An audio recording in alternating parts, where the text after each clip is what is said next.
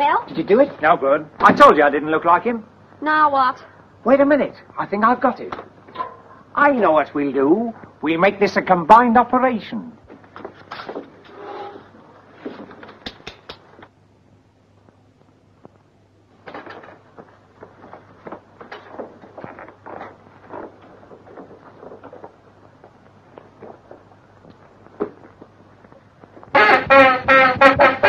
Now what's the matter with you?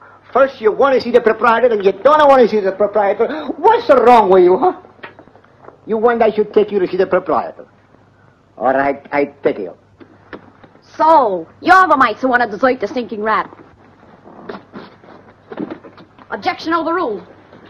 Remind me to spit in your eye sometime. I never forget a face, but in your case, I'm going to make an exception. My friend and me would like to see the proprietor. Is the gentleman in? Yes, I'm in. You the proprietor? No, I'm the gentleman. The proprietor's through there. Can you smell something burning? No, I don't think so. Neither can I, but most people can if you ask them.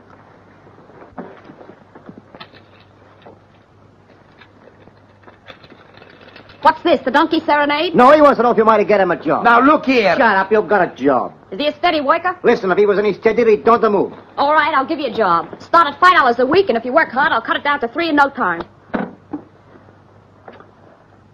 And don't yes me. I don't like yes men. I want you to tell me exactly what you think, even if it costs you your job.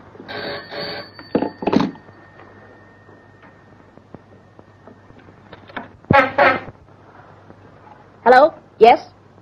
Uh, Mr. Jones in the third row is wanted in the manager's office. Excuse, please. Why you pick a fight with me? I don't pick a fight with you. You go Uruguay, I go Paraguay. You think you go find something for me to do, huh? You can keep an eye on the guy who keeps an eye on me. Do you want a job? You better keep an eye on him, too. Okay. And don't say okay, say all right. Okay means all right. Never mind what it means, say all right. All right. Okay. Now open that door. Open. Says who? Sesame. Oh, please. What the...